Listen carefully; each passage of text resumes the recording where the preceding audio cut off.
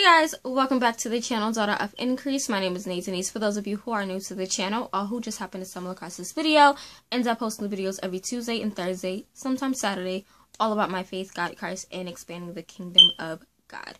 So today must be a Saturday because I have a book review for you guys, and it's going to be a two-in-one book review featuring two books from C.S. Lewis. So um, before I begin, I do want to say I want to just shout out um, HarperOne for sending me these books. I had contacted them directly, um, and it took me a minute to find the publicist's email because I had to like Google it. It was a lot of work, but um, I did personally contact the company HarperOne um, because I was interested in reviewing these books because a lot of you guys have been asking me if I read C.S. Lewis, mainly Mere Christianity and the Screwtape Letters, and I have not read any of his works. I've been meaning to read them for a long time, but I just I don't know. I felt like there was a wall between me and C.S. Lewis. Um, but I contacted them and told them that you guys, um, you know, were asking me about it and that I I was requesting to review it. Um, they had a box set, and I'll put an image of the box set. But they have a box set on Amazon of the eight classics that he has out, and um, I asked them for it. They didn't have the the um, box set, but they did have the bind up. So here is the signature classics bind up right here from HarperOne. They sent it to me. It's from C.S. Lewis. There's eight books in one. So it's Mere Christianity, The Screwtape Letters, Miracles, The Great Divorce, The Problem of Pain, A Grief Observed, the Abolition of Man, and The Four Loves. And these are all eight books that are inside of the box set. These are the covers. And the ones that I've really been interested in are obviously Mere Christianity, the Screwtape Letters, um, The Abolition of Man, The Problem of Pain, and The Four Loves. Obviously, I wanted to read all eight, but those are like the ones that I was like super excited to read. I have not read any of those books yet. I am planning to read the Screwtape Letters, if not this month, um, hopefully next month. The plan is to get at least into the Screwtape Letters this month, the month of May, um, and finish it by June so I can read at least two more books before the summer is over. Um, but I'm going to be getting to this this month, prayerfully. Um, however, they did send me two other books. They're supposed to be sending me a third book, though, that kind of goes with this kind of collection. I'm not sure yet.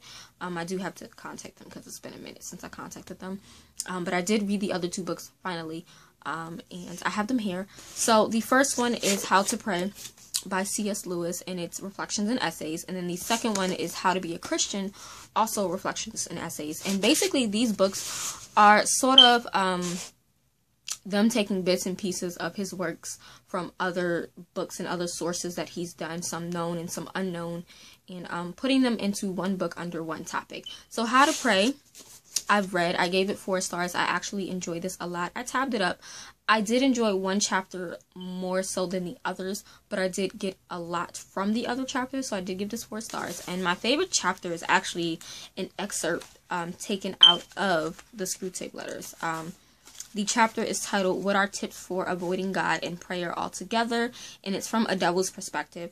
So, how can I describe Screwtape letters? It's basically letters from a master demon tempter named Screwtape to, I think, his younger demon tempter named Wormwood on how to basically tempt a human. So, it's giving you insight on how the enemy works. And I swear, you guys, this chapter blew my mind with a lot of the things, especially when it comes to prayer. Because a lot of the times we feel like we just don't want to pray and we think nothing of it. But the way that they broke this down in four parts I, blew my mind. So the first part it says to make sure that their prayers are especially spiritual. And I know you know some of the people that are like really, really spiritual. You know, I'm gonna just leave it at that. You guys know what I mean, right? But um it says whenever they are attending to the enemy himself. And when they say enemy in this book, enemy is capitalized with a capital E because the enemy is actually referring to God. Keep in mind that this is written from the perspective of a demon, of a devil. So, the enemy would be God. So basically, whenever we are attending to God himself, um, demons are defeated, is basically what this is saying. And it says the simplest way is to turn our gaze away from God towards ourselves. So, um, people who are really super spiritual, personally, now don't get me wrong, I'm not bashing anybody. I don't want anybody to think that. But I feel like those people that are like extremely spiritual don't really keep their eyes on God because they get caught up in religion. Um, and I'm not a fan of religion. I'm just gonna say that I'm not a fan of religion because religion causes a lot of issues, um, a lot of arguments between Christians, a lot of arguments between Christians and Muslims, a lot of arguments between Jewish people and like it. It causes too much problem. Um, and when you get caught up in being too spiritual, it reminds me of the Sanhedrins. I'm gonna leave it at that. And if you don't know who the Sanhedrins are, um, just think about the people back in the times um, that thought they were uh, above the law back when Jesus was around. Those people. And if you don't like I said, if you don't know, read read, read the New Testament. You'll you'll figure it out. But I feel like when you become too spiritual, you you're resembling a Sanhedrin in my mind. That's how I see it. I don't know if anybody will agree with me on that, but that's how I see it. But um, it just it talks about how you know there needs to be a real nakedness of the soul in prayer um, because a lot of people are not naked when they're praying. A lot of people are just doing it for show. They're doing it to check off a list. And I'm not gonna lie, that used to be me. I used to be in church praying because they said to pray. Everybody up and pray. Okay, I gotta close my eyes and pray. That's what I used to do. But when I got to that point of having to pray for myself, wanting to pray for myself, it became a whole different story. And I still sometimes um, find myself getting caught up, especially in church. Sometimes I find myself getting caught up um, and not being extremely vulnerable. But I do find myself sometimes getting caught up um, um, not being 100% vulnerable in church. I don't know. I feel like I can be like extremely just me and vulnerable at home. At home, um, but when I'm in front of people, I tend to let other people and other things kind of distract me a little bit from praying. Um, so then part two on that was believe you are not a very good Christian. So basically they try to make us believe that we're not a good enough Christian to pray for anything. Um, you know, and it basically says that all humans at nearly all times have some such reluctance. So we do always have a reluctance to pray. Um, and then it says the prayers offered in the state of dryness are those which please him best. So, you know, there are those people who pray only when it's good. But what about when you're dry? What about when you're empty? What about when you are weak? You know, what about when you're broken? Are you praying? A lot of people, we only just pray when it's good for us, you know? The third part is that um, we need to treat prayers as a test of God. So basically, the enemy tries to use prayer as a way for us to test God, um, and that's not good. But a lot of the times, we don't see it that way. We're just praying things and don't realize that um, though sometimes it's on us how we pray, other times there are tricks of the enemy that he uses within our prayer lives. Um, and I, I don't know. This book just really blew my mind. But yeah, it talks about um, how does prayer become a regular practice for us, which it gave some, you know, really good practical tips on that. Um, what else? If our prayers depend on how deeply we feel or mean them. How do we pray while grieving? Uh, how can we get out of our own way and pray? Which I thought was such an impactful one as well because a lot of the times we're in our we're in our own way of prayer. Um, so I did enjoy this enough to give it a four stars, though I really only loved one chapter, I did find that I was getting a lot about prayer from the other chapters, which is why I gave it a four star rating. Do I recommend this? Yes, I do. It can be a little bit of a complex read. Um, but I feel like if you take this one chapter at a time, because I I've, I've read these one chapter a day because it was just, I felt like though the chapters were small, they were very much heavy because it is C.S. Lewis and he writes in almost an intellectual kind of way, um, and he makes you double take, reread, rethink things over. So I enjoyed this enough. I definitely would recommend this. And just from reading this, I'm even more excited to read the Screwtape Letters. So for How to Pray by C.S. Lewis, I did give this 4 out of 5 star rating. The next book is How to Be a Christian by C.S. Lewis, Reflections and Essays. Same kind of idea as the other one where they took bits and pieces from his works, um, published and unpublished, stuck them together in a book, and you have a book on how to be a Christian pretty much. And I did type this one up too. Um, this one I gave a 3.5 out of 5 stars. Um, I was debating between a 3.5 and a 4 stars, but I am going with the 3.5 only because this was a little bit more harder for me to read. Um, because of the wording and I felt like I had to reread pages and chapters like over and over again to fully grasp and understand it. Um, I did enjoy three chapters particularly from this book um, on forgiveness as a as a necessary practice, on the appeal and challenges of home life, and on the importance of practicing charity. Those three chapters of all the chapters blew my mind. Like, I literally got so much out of them. So, let's. I'm just going to talk about those three chapters because those are the chapters that got to me most. So, the one on forgiveness as a necessary practice. Um, it just reminds us that if we don't forgive, we're not going to be forgiven by God because we have to forgive others in order for God to forgive us of our sins. Um, and then it talks about how there's a difference in forgiving and then a difference in excusing someone. And then it says, forgiveness says, Yes, you have done this thing, but I accept your apology. I will never hold it against you, and everything between us two will be exactly as it was before. However, they say that excusing says, I see that you couldn't help it or didn't mean it you were really not to blame. But then it says if one was not really to blame, then there is nothing to forgive. So then it even goes further to say that forgiveness and excusing someone are completely opposites. Because in order to forgive someone, they have to be um, there has to be a blame or something that they have done wrong. If you're excusing someone, then they didn't do anything wrong, pretty much. So you can't forgive someone if they didn't do anything wrong. You're just excusing them. Um, so I like that they make that known that there is a difference because I feel like a lot of times we don't think about that. Um, we feel like excusing someone is the same thing as forgiving when it's really not. It's complete opposite of that.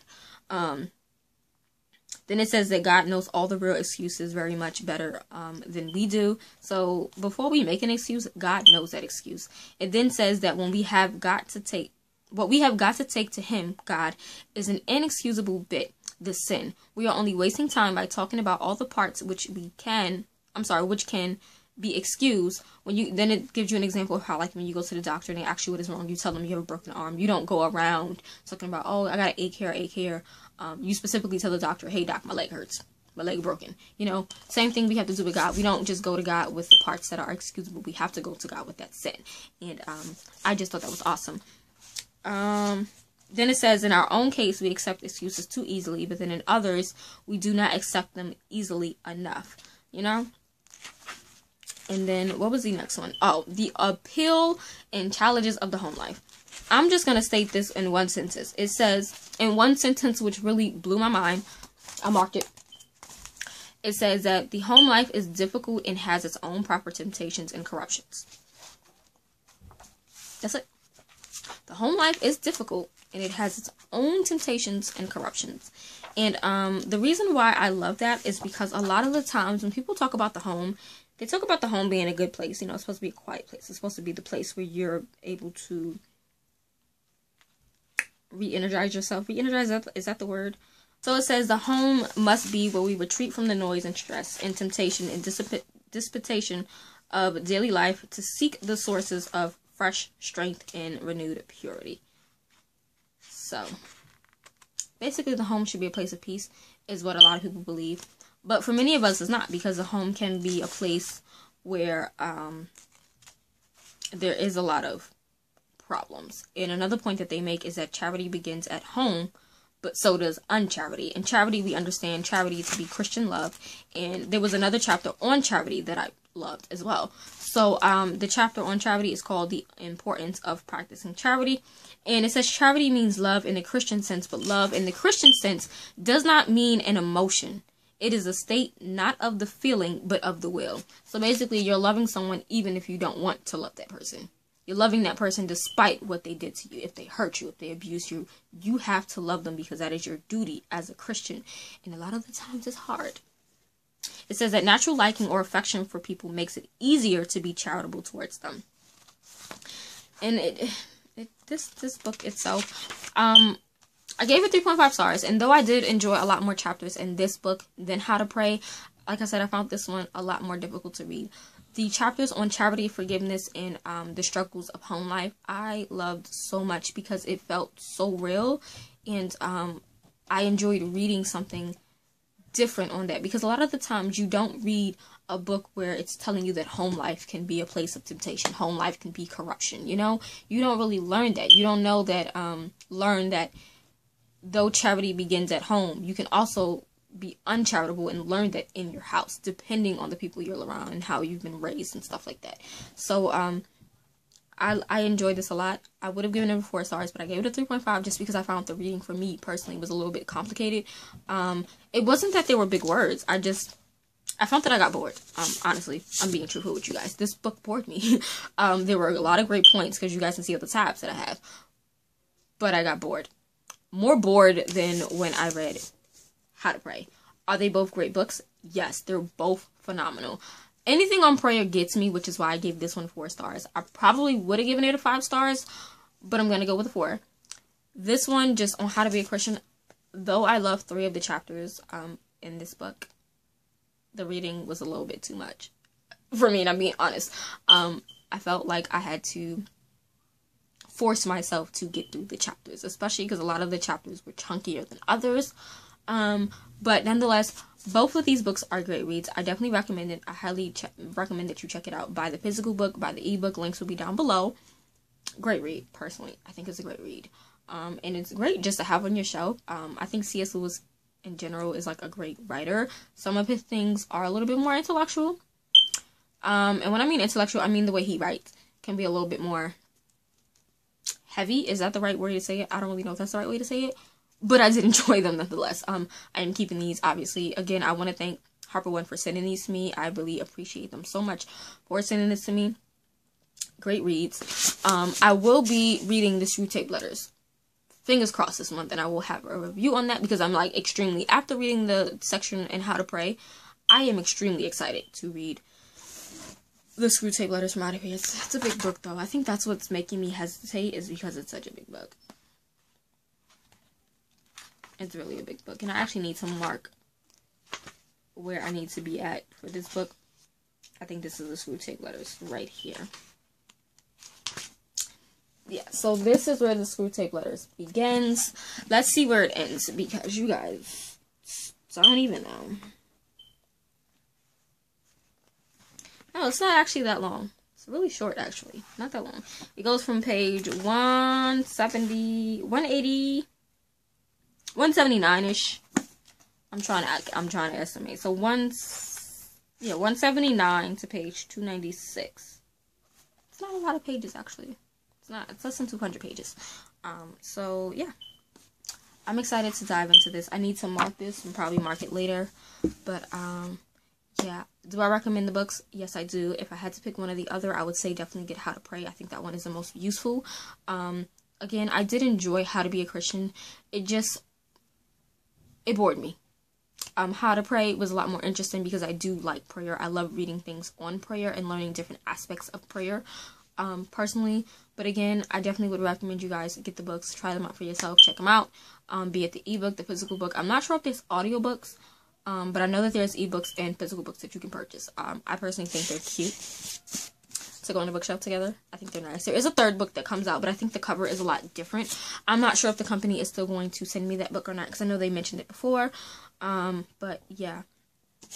How to Pray came out June 5th, 2018, and How to Be a Christian came out August 2018. Can't remember the date, but um, they both released last year in 2018, and there is one more book in this kind of reflections and essays kind of series coming out this month. I mean, this year. I don't know if it's going to be July or September because for some reason, every time I look it up, there's a different release date, but I know that it's going to be this year before the end of 2019 is over.